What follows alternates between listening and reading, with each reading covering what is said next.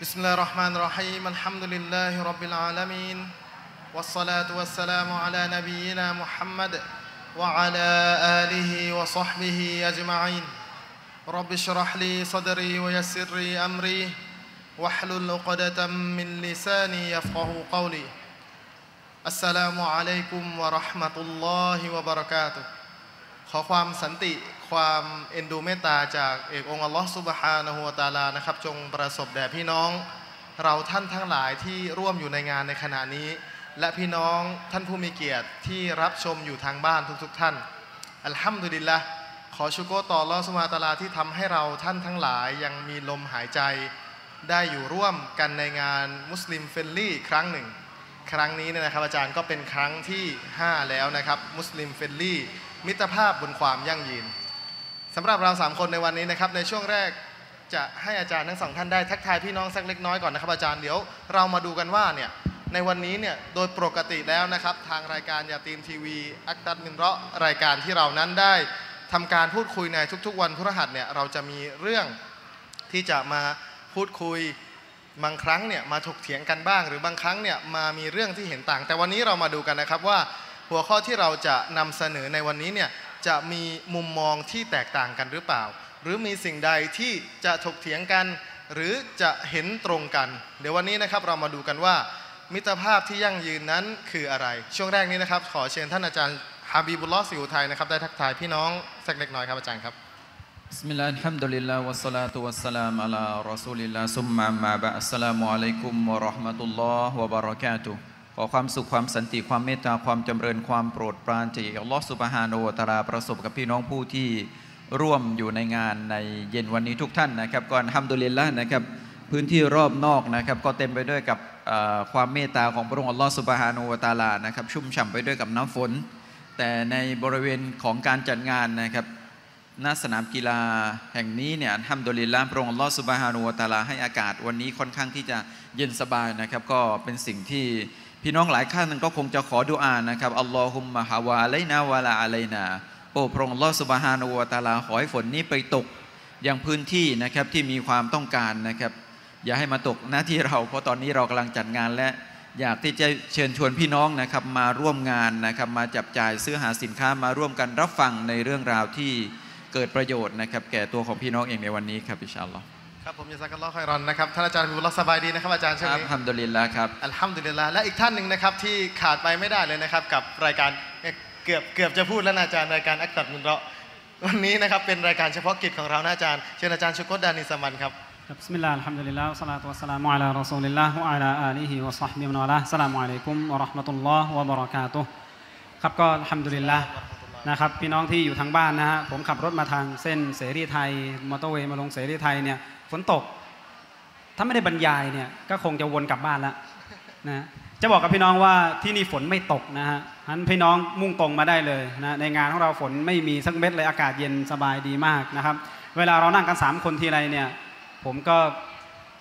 มันมันมันมีแรงผลักดันนะอาจารย์พิมพ์รอนะเหมือนกับว่าเราต้องมีอะไรมามาคุยมาเถียงกันสักสักเรื่องหนึ่งนะแต่วันนี้เนี่ยหัวข้อผมนั่งคุยอาจารย์บีบุลลอฮฺแล้วอาจารย์เราจะเถียงกันยังไง เวลาไม่พออาจารย์ เวลาน้อยไปเวนะลาน้อยเถียงกันไม่ทันคราวหลังคราวหลังเนี่ยต้องต้องให้เราสักสองชั่วโมงนะอาจารย์ชั่วโมงครึ่งอะนะอันนี้นะมานั่งครับอาจารย์มานั่งถกประเด็นเรื่องเรื่องของประเด็นต่างๆนะครับ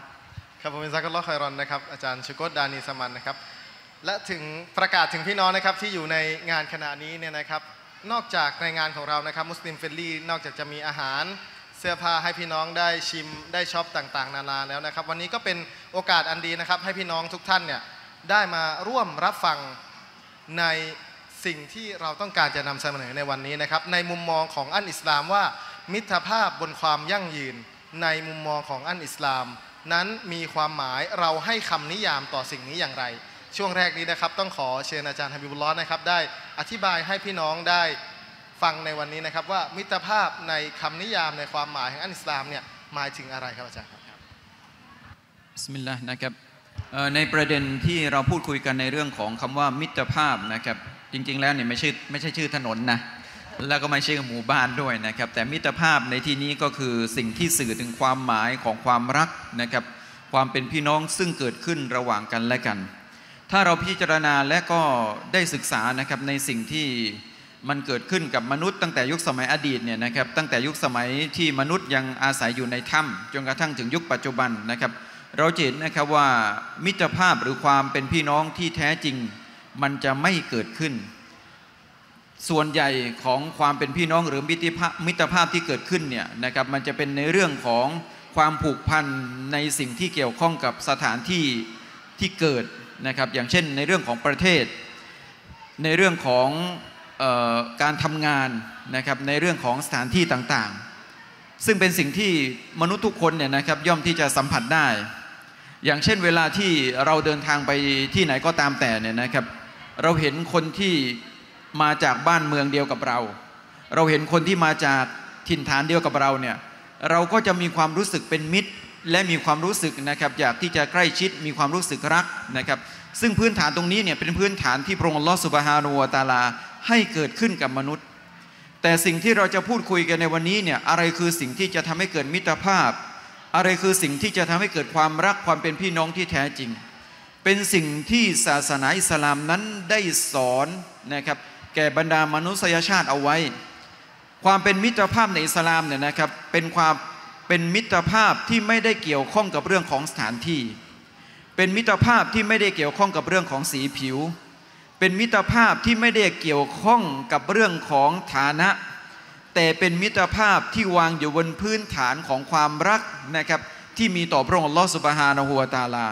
ดังนั้นเราจึงเห็นนะครับว่าคำว่าศาสนาอิสลามเนี่ยแปลว่าความสันติ นั่นก็หมายถึงว่าพระองค์อัลลอฮฺสุบฮานะฮูวตาลาต้องการที่จะบอกแก่มนุษยชาตินะครับว่า ศาสนาอิสลามนั้นเป็นศาสนาที่มุ่ง ที่จะให้เกิดความสุขแก่บรรดามนุษยชาติ ไม่ว่าจะเป็นสีผิวไหน ไม่ว่าจะเป็นเชื้อชาติไหน ไม่ว่าจะมีสถานะอย่างไร ดังนั้นเองนะครับเราจึงเห็นนะครับว่าตั้งแต่วันที่ท่านนบีมุฮัมมัดสุลลัลฮุอะลัยฮิวะสัลลัมนำอิสลามมาประกาศ ซัลมานซึ่งเป็นคนเปอร์เซีย ซัลมานอัลฟาริซีบิลาลอัลฮาบาชีนะครับบิลาลซึ่งเป็นทาสผิวดำนะครับจากเมืองฮาบาชะชาวอาหรับที่มีต้นตระกูลที่สูงส่งอย่างชาวกุเรช ทุกคนเนี่ยสามารถที่จะนั่งรวมกัน และปฏิบัติในสิ่งที่เป็นบทบัญญัติของพระองค์อัลลอฮฺ سبحانه وتعالى ได้อย่างเสมอภาคกันนะครับ เราจึงเห็นว่าสิ่งต่างๆ เหล่านี้เนี่ยมันเป็นสิ่งที่เกิดขึ้น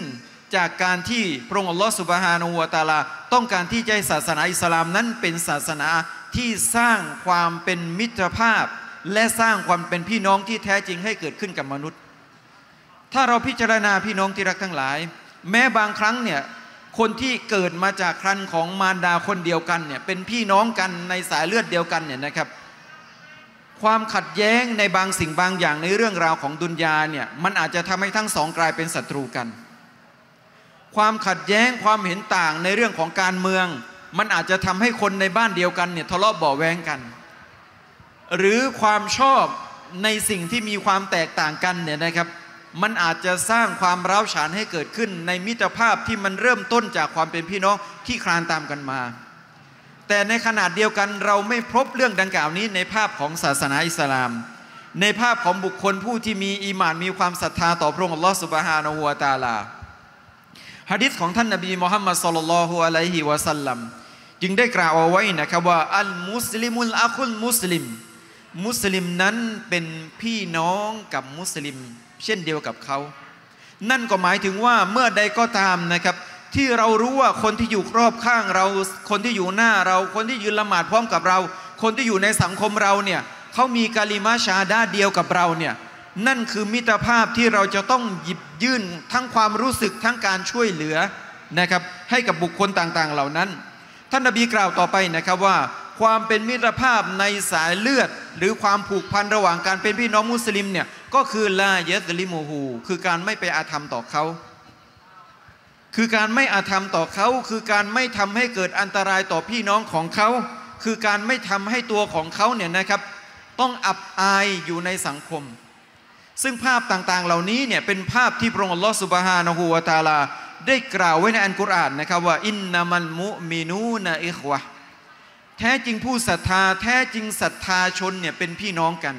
เพราะฉะนั้นความหมายของความเป็นพี่น้อง ความหมายของมิตรภาพ ที่พระองค์อัลลอฮฺสุบฮานะฮูวตาลา และท่านนบีมุฮัมมัดสุลลัลลอฮุอะลัยฮิวะสัลลัมต้องการที่จะสื่อ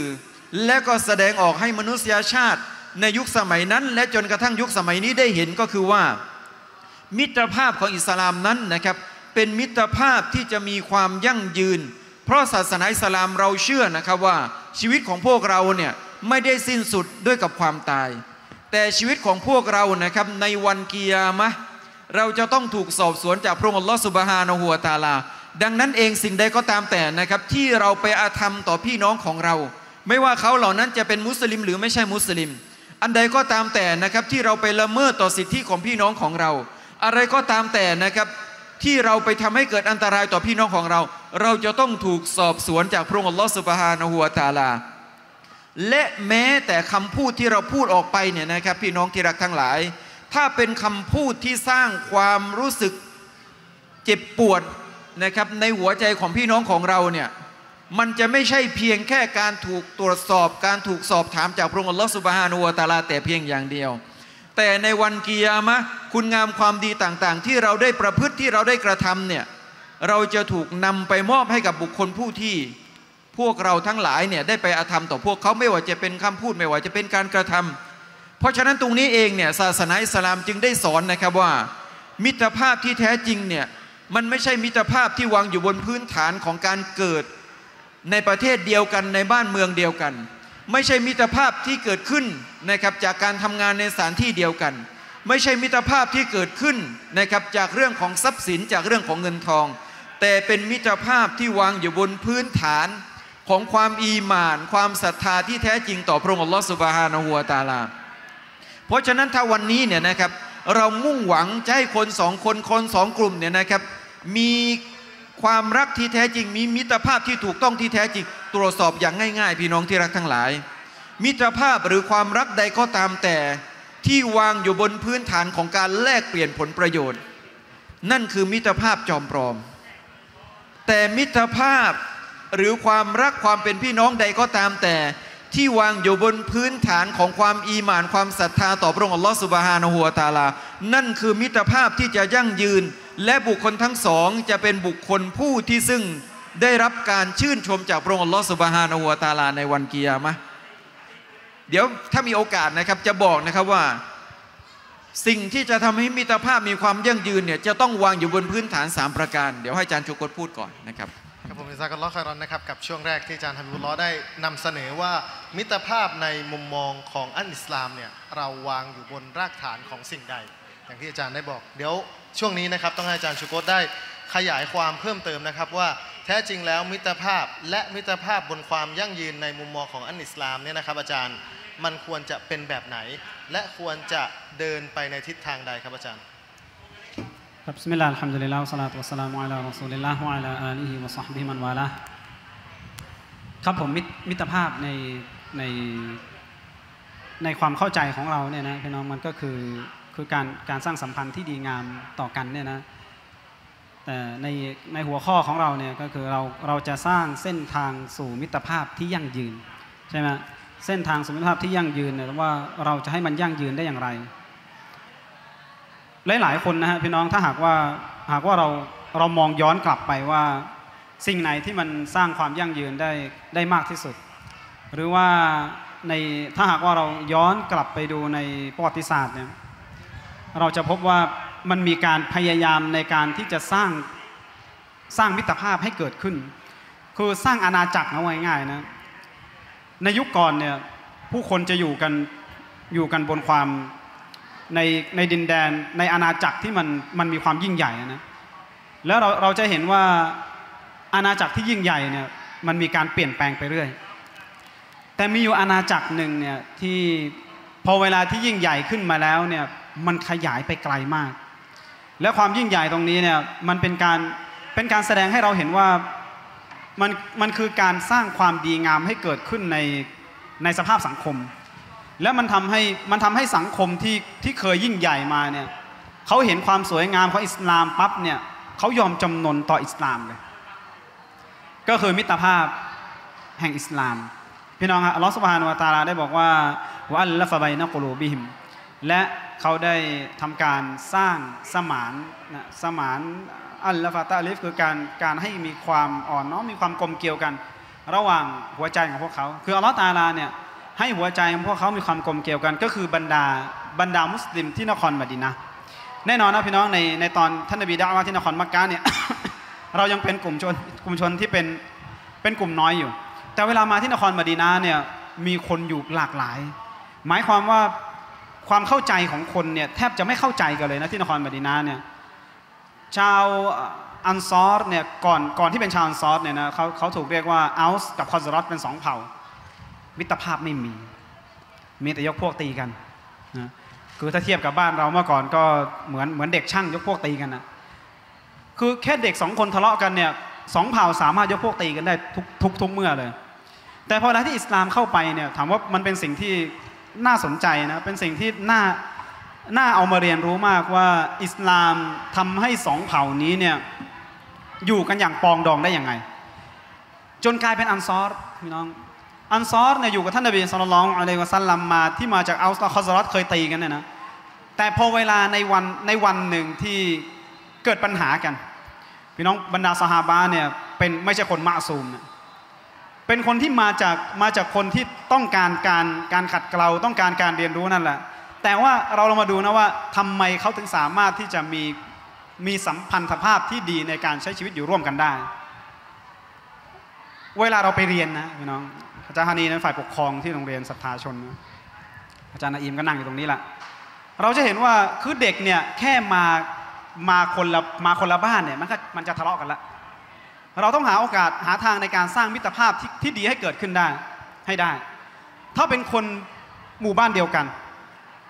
ความเป็นอยู่เนี่ยมันจะมีความคล้ายคลึงกัน การสร้างมิตรภาพมันจะง่ายหน่อยต่างจังหวัดกันเริ่มละ มันเริ่มมีการเป็นอยู่ที่ที่มีความมีความแตกต่างกัน พอเวลาเราเราแบ่งโซนไปทางภาคเหนือทางภาคอีสานทางภาคกลางทางภาคใต้ ทีนี้ยิ่งต้องการการสร้างมิตรภาพที่มันมันมีความยากเข้าไปอีก ที่ผมวาดภาพให้พี่น้องได้ดูเนี่ยนะอยากให้พี่น้องได้มองมองตั้งแต่มิตรภาพที่คืออย่างเราเนี่ยเราเราบางทีเรานั่งสามคนเราคุยไม่ค่อยรู้เรื่องนะบางทีก็นั่งทะเลาะกันนะสามคนเนี่ยวันนี้มาคุยเรื่องมิตรภาพให้พี่น้องเห็นว่าเราไม่ได้ทะเลาะกันนะ ในหัวใจเรายังเป็นหนึ่งเดียวกันอยู่นะอาจารย์พิบุญล้อผมไม่เคยมีอะไรกับอาจารย์พิบุญล้อเลย แต่ว่าเวลาประเด็นมันไปเนี่ยเราคุยในเรื่องประเด็นเรื่องราวของศาสนา แต่พอเวลาที่เราไปถึงพี่น้องเรามองภาพอิสลามนะอิสลามเนี่ยมาจากสองเผ่าที่เคยยกพวกตีกันนี่เวลาน้อยถ้าเวลาเยอะเนี่ยผมจะสาวให้พี่น้อง เอาโลกทั้งใบมาสาวให้พี่น้องดูนะคนผิวผมอยากจะบอกว่าหมหาวิทยาลัยอิสลามมดีนาเนี่ยมีนักเรียนอยู่ร้อยห้าสิบกว่าประเทศ แล้วแต่ละประเทศเนี่ยมันไปกันหลากหลายเลย อาจารย์ในมหาวิทยาลัยเนี่ยเขาแย่งกันแย่งกันดูเอเชียตะวันออกเฉียงใต้ เพราะเป็นคนที่มีมารยาทที่ดีงาม แล้วจะบอกกับพี่น้องว่าอิสลามเนี่ยลงมาที่ที่อาหรับนะที่มักกะที่มดีนาเนี่ยลงมาในให้กับกลุ่มชนที่ตะแบงที่สุดในโลกแล้วสำหรับผมนะที่เคยเจอคนมาเนี่ยอาหรับในตะแบงสุดแล้ว แต่พอเวลาอิสลามลงมาเนี่ยเหมือนกำลังอัลลอฮฺตาลากำลังจะบอกกับเราให้รู้ว่าท่านนบีเนี่ยมาด่าวะกลุ่มชนที่ยากที่สุดนะส่วนพวกเราเนี่ยมาเจอคนที่มีความมีความอ่อนน้อมมีความอะไรกัน เพราะนั้นการสร้างความสัมพันธ์กันระหว่างพวกเราเนี่ยมันง่ายกว่าการสร้างที่ท่านนบีสุลต่านฮ์อะลัยวะสัลลัมต้องสร้างที่นครมักกะอีก แล้วท่านนบีก็ทำได้ ให้ชาวอันซอรเนี่ยให้เอาส์คอซรอตเป็นเป็นหนึ่งเดียวกันได้ วันหนึ่งเกิดปัญหากัน ระหว่างชาวอันซอรกับชาวมุฮาจิริน ชาวมุฮาจิรินบอกว่ายาลันมุฮาจิรินชาวอันซอรบอกว่ายาลันอันซอรคือปัญหาเนี่ยมาจากคนสองคนแค่นั้นแหละชอบชอบแย่กัน ชอบแกล้งกันอาจารย์นาอิมน่าจะเคยเจอนักเรียนชอบแย่กันจนทะเลาะกันเนี่ยพอแย่กันจนกระทั่งว่าอันซอรบอกว่าอันซอรมารวมตัวกันมุฮาจิรินบอกว่ามารวมตัวกัน ท่านนบีมาพูดคำเดียวพี่น้องสองกลุ่มแยกกันไปเลย ท่านนบีเวลาท่านนบีเห็นกำลังจะทะเลาะกำลังยกพวกกันแล้วนะท่านนบีบอกว่าอาบิดะวันจาฮิลียะวะอานาไบนอัลกุฮุริกุม ยังจะเอาการคือยังจะเอานิสัยของพวกยุคจาฮิลียะยุคบรมโง่มาใช้อีกเหรอทั้งที่ฉันเนี่ยอยู่กับพวกเจ้าเนี่ยอยู่ต่อหน้าพวกเจ้าเนี่ยท่านนบีบอกบอกแค่นี้แหละมุฮาจิรินกับอันซอรเนี่ยแยกกันไปเลย คือไม่มีประเด็นไม่มีการไม่มีปัญหาอะไรกันเลย พอแล้ววันนี้ท่านนบีเสียชีวิตเอาอีกแล้วชาวอันซอรรวมตัวกันในการตั้งคอลีฟะชาวมุฮาจิรินอบูบักได้นำทีมมา รู้ว่าชาวอันซอรเนี่ยมีการปองดองกันกับมุฮาจิรินแล้วพาพวกมุฮัจิรินเนี่ยไปเคลียร์กับชาวอันซอรจนกระทั่งว่ามีความสมานฉันท์กันพี่น้องจากจากคนที่ที่เคยเคยแบ่งแยกกันเนี่ยนะแต่ในวันนี้เนี่ยในวันนั้นเนี่ยที่อิสลามได้เข้ามาเนี่ยเขามีความกลมเกลียวเป็นอันหนึ่งอันเดียวกัน ยืนอยู่บนหลักการที่อิสลามได้วางมา หลังจากนั้นเนี่ยจากนครมดีนะ จากกลุ่มที่ท่านนาบีได้ปลูกฝังให้เขามี มีมิตรภาพที่มันมีความยั่งยืน คือมิตรภาพแห่งอิสลาม อิสลามขยายออกไปทางด้านทางทิศตะวันออกทิศตะทิศใต้ ไปยังทิศเหนือ ทิศตะวันออกเนี่ยนะดินแดนเปอร์เซียเนี่ยหรือว่าอิหร่านกับประเทศรอบๆเนี่ยอยู่กับอิสลามตั้งแต่ในช่วงแรก ๆ เลย แล้วพอเวลาที่ขยายไปทางทิศตะวันตกนะพี่น้องไปยันโมร็อกโกนู่นนะติดติดมหาสมุทรติดทะเลเมดิเตอร์เรเนียนติดมหาสมุทร แอตแลนติกพอเวลามีการขยายออกไปเนี่ยพี่น้องลองไปดูนะว่าประเทศต่างๆ นับตั้งแต่อียิปต์ไปเนี่ยนะอียิปต์ตูนิเซียแอลจีเรียอะไรนะโมร็อกโกประเทศเซเนกัลประเทศอิสลามอะไรแถบนั้นเซเนกัลไนจีเรียมาลีบุรกินาฟาโซ ประเทศ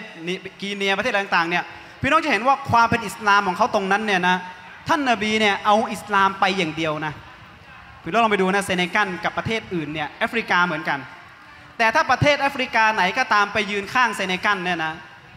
ขาวเซเนกัลมันดำเมี่ยงเลย ที่จะบอกกับตรงนี้นะให้พี่น้องได้รู้ว่าอิสลามเนี่ยเอามิตรภาพไป ไม่ได้ไปยึดใคร พี่น้องดูอเมริกาพูดได้ไหมอเมริกาพูดได้นะไม่มีใครว่าอะไรนะพี่น้องดูอเมริกานะอินเดียนแดงเนี่ยไปค้นพบดินแดนนั้นก่อนเลยคริสโตเฟอร์โคลัมบัสไปจากอังกฤษไปกลายเป็นว่าไปทะเลาะกันทุกวันนี้ยังทะเลาะกันอยู่เลย ยังแบ่งแยกชนชั้นสีผิวกันอยู่เลย แต่อิสลามเนี่ยสร้างมิตรภาพให้ดีงามเกิดขึ้นในดินแดน เยอะแยะมากมายดินแดนที่เป็นอิสลาม เพราะฉะนั้นผมคงจะเหลือเวลาที่เหลือให้อาจารย์พิบุญร้อนเนี่ยนะนะเวลาของเรามีน้อยจริงๆนะถ้ามีเยอะนะผมชวนอาจารย์พิบุญร้อนทะเลาะอะไรวันนี้นะครับผมคงเอาไว้แค่นี้นะที่เหลือคงให้อาจารย์พิบุญร้อนนะครับครับสลามอะลัยกุมครับผมอิซากัลลอคอยรอนนะครับก็อาจารย์ชุโกได้ยกตัวอย่างหลายๆอย่างนะครับ เห็นภาพได้อย่างชัดเจนนะอาจารย์ท่านนบีเนี่ยต้องทำการด่าวะกับอาจารย์กลุ่มชนที่ตับแบงค์ที่สุดแล้วนะอาจารย์อะ ช่วงนี้อยากให้อาจารย์ฮะบิบุลลอได้ขยายความต่อครับถึง 3 ประการนะอาจารย์ที่บ่งบอกถึงมิตรภาพที่อาจารย์ได้ติดค้างไว้เมื่อสักครู่เชิญเชิญอาจารย์ฮะบิบุลลอครับبسم الله الرحمن الرحيم الحمد لله والصلاة والسلام على رسول الله ผมบอกแล้วเวลามันน้อยทะเลาะกันไม่ได้นะครับคือมีสามประการนะครับที่ผมอยากที่จะให้พวกเราเนี่ยได้นำไปสู่การปฏิบัติ เพื่อเป็นการสร้างมิตรภาพที่ยั่งยืน บนพื้นฐานของอิสลามนะครับ ประการแรกก็คืออัตตรอหุมก็คือความเมตตา ความเมตตาเนี่ยนะครับเป็นสิ่งที่จะเกิดขึ้นหลังจากความรักความสามัคคี แม้แต่ระหว่างผู้หญิงกับผู้ชาย ระหว่างสามีภรรยาเนี่ยถ้าเราพิจารณาถึงคำพูดของพระองค์อัลลอฮฺสุบฮานาวะตาลาที่ได้ได้กล่าวเอาไว้นะครับว่าวะมินอายาติฮิอันคอละกอละกุมมินอังฟุซิกุมอัซวาจา และจากหนึ่งในสัญญาณของพระองค์ลอสุบฮานาอูตาลาก็คือการที่พระองค์นั้นได้สร้าง จากตัวของพวกเจ้าก็คือบรรดาสตรีบรรดาคู่ครองของเจ้าลิตัสกูนูอิไลฮาเพื่อให้พวกเจ้าทั้งหลายนั้นได้มีความสงบจากนางวะจาอัลบัยนะกุมมาวัดดะตันวะรอฮมะจากนั้นพระองค์ลอสุบฮานะฮูวะตาลากล่าวต่อไปนะครับว่า ความสัมพันธ์ระหว่างชายหนึ่งหญิงสาวที่นำไปสู่การแต่งงานเนี่ย มันจะถูกเริ่มด้วยกับคำว่ามาวัดดะก็คือความรัก และหลังจากความรักก็คือรอมะก็คือความเมตตา เพราะฉะนั้นมิตรภาพที่เราต้องการหรือความเป็นพี่น้องที่เราต้องการให้ยั่งยืนเนี่ยมันจะต้องมีพื้นฐานของคำว่ารอมะหรือตรอฮุมนะครับท่านนบีมุฮัมมัดสุลลัลฮุอะลัยฮิวะสัลลัมจึงได้บอกไว้ในฮะดิษของท่านนะครับว่ามาซาลุนมุมินีนะ อุปมาของผู้ศรัทธา ฟีตาวาดิฮิมวะตารอฮุมิฮิมวะตะอาตุฟิฮิมกะมาสลินยะสดินวาฮิดอุปมาของผู้ศรัทธาในความรัก คนจะเป็นพี่น้องกันเนี่ยต้องรักกันก่อน คนที่จะมีมิตรภาพกันเนี่ยจะต้องมีความรักกันก่อน หลังจากนั้นพระองค์อัลเลาะห์ท่านนบีได้กล่าวต่อไปนะครับว่าตารอฮุมิฮิมและด้วยกับความรักเนี่ย หลังจากนั้นมันจะนำมาซึ่งความเมตตาซึ่งกันและกันวตาอาตุฟิหิม ความห่วงหาซึ่งจะเกิดขึ้นซึ่งกันและกันกามัสลินยัสดินวาฮิดให้เรารู้สึกนะครับว่าพี่น้องของเราเนี่ยเปรียบเสมือนหนึ่งในเรือนร่างเดียวกับเรา อะไรก็ตามที่พี่น้องของเราเจ็บปวด เราก็เจ็บปวดด้วย เมื่อใดก็ตามที่พี่น้องของเรามีความสุข เราก็มีความสุขด้วย นั่นคือเครื่องหมายของเขาว่ามิตรภาพที่แท้จริง ด้วยกับเวลาที่จำกัด ประการที่สองอัตตาอาวุนก็คือการช่วยเหลือซึ่งกันและกัน เมื่อเรามีมิตรภาพกับใครสักคนหนึ่ง เมื่อเรามีความรักกับใครสักคนหนึ่ง เมื่อเรามีความเป็นพี่น้องกับใครสักคนหนึ่ง สิ่งที่จะต้องเกิดมาหลังจากนั้นก็คืออัตตาอาวุนการช่วยเหลือซึ่งกันและกัน และการช่วยเหลือที่ว่านี้พี่น้องที่รักทั้งหลาย ไม่ใช่ช่วยเหลือในสิ่งที่เป็นเรื่องของคุณงามความดีอย่างเดียว แม้แต่การห้ามปรามในสิ่งที่เป็นความผิด ก็เป็นสิ่งที่เราจะต้องช่วยเหลือพี่น้องของเราด้วยเช่นเดียวกัน พระองค์อัลลอฮฺสุบฮานาอูวาตาลา จึงได้กล่าวไว้ในอัลกุรอานนะครับว่าวะตาอาวานูอัลันบิริวัตตักวาพวกเจ้าทั้งหลายจงช่วยเหลือตาอาวุนเนี่ยแปลว่าการช่วยเหลือระหว่างทั้งสองฝ่าย บินบิรรีในเรื่องของคุณธรรมวัตตักวาในเรื่องของความดี ในเรื่องของคุณธรรมและความดี สิ่งใดก็ตามที่เป็นความดีเราจะต้องบอก เราจะต้องนำเสนอ เราจะต้องแนะนำให้กับคนที่เป็นพี่น้องของเราเพื่อสร้างความเป็นมิตรภาพที่ยั่งยืน และพระองค์อัลลอฮฺสุบฮานุวะตาลากล่าวต่อไปนะครับว่าวะลาตะอาวานูอาลันอิสมีวันอุดวานและสิ่งใดก็ตามที่เป็นความชั่ว และความเป็นศัตรูเนี่ยอย่าได้ช่วยเหลือกัน เพราะนั้นนี่คือสิ่งที่เราจะต้องทำความเข้าใจนะครับว่า มิตรภาพที่แท้จริงเนี่ยไม่ใช่เรื่องดีๆเนี่ยคุยกันแต่เรื่องดีๆ เรื่องไม่ดีไม่ต้องคุยไม่ใช่ เรื่องดีจะต้องแนะนำเรื่องไม่ดีจะต้องห้ามปราม ท่านนบีจึงได้อุปมาของมนุษย์ที่อยู่บนหน้าโลกใบนี้เนี่ยเปรียบเสมือนกับคนที่โดยสารอยู่บนเรือลำเดียวกัน โดยสารอยู่บนเรือลำเดียวกัน ถ้าเรือจมตายทั้งหมด ถ้าเรือรอดรอดทั้งหมดนะครับฮะดิษบทหนึ่งน่าสนใจมาก ท่านนบีบอกว่าจงช่วยเหลือพี่น้องของท่าน ที่ซอเลมและก็มัสลูม คนซอเลมคือคนที่ไปอาธรรมกับคนอื่น และคนที่มัสลูมคือคนที่ถูกอาธรรมไอ้คนที่ถูกอาธรรมเนี่ยเราเข้าใจได้ พี่น้องของเราการมันถูกอาธรรมเราต้องช่วยเหลือเข้าใจได้ แต่คนที่อาธรรมคนอื่นซอบาถามนบีเลยนะครับ ว่ายารอซูลลอฮ์ แล้วจะช่วยคนที่เขาไปรอเลมคนอื่นไปอาธรรมคนอื่นเนี่ยช่วยเหลืออย่างไร ท่านนบีบอกก็คือช่วยเหลือป้องกันไม่ให้เขาไปอาธรรมกับพี่น้องของเขา ประการที่สามด้วยกับเวลาที่จำกัด เมื่อมีความรัก เมื่อมีความสามัคคี เมื่อมีมิตรภาพเกิดขึ้น จะต้องมีการตอรอหุมมีความเมตตาซึ่งกันและกันจะต้องมีการตาอาวุนจะต้องมีการช่วยเหลือซึ่งกันและกัน และชีวิตของมนุษย์ประการที่สาม อัตตนาซุฮจะต้องตักเตือนซึ่งกันและกัน เพราะมนุษย์เนี่ยนะครับไม่มีใครที่มีความสมบูรณ์ร้อยเปอร์เซ็นต์ทุกคนมีข้อบกพร่อง เพราะฉะนั้นข้อบกพร่องของมนุษย์บางครั้งเนี่ยเขามองไม่เห็นไง สังเกตเราเนี่ยเราจะมองไม่เห็นพวกข้อบกพร่องของพวกเราเนี่ยจะต้องให้คนอื่นมาเป็นกระจกให้กับเรา เพราะฉะนั้นเมื่อคนอื่นเป็นกระจกแล้วเขาจะต้องเตือนเราด้วย อย่าอาย อย่าเกรงใจในการที่จะเตือนพี่น้องในสิ่งที่ไม่ถูกต้อง อย่ากลัวในการที่จะชมพี่น้องนะครับ ในสิ่งที่พี่น้องทำเป็นความคุณงามความดีเนี่ยเป็นการตนาซัวเป็นการเตือนซึ่งกันและกัน เพราะฉะนั้นสามสิ่งสามประการนะครับ ถ้า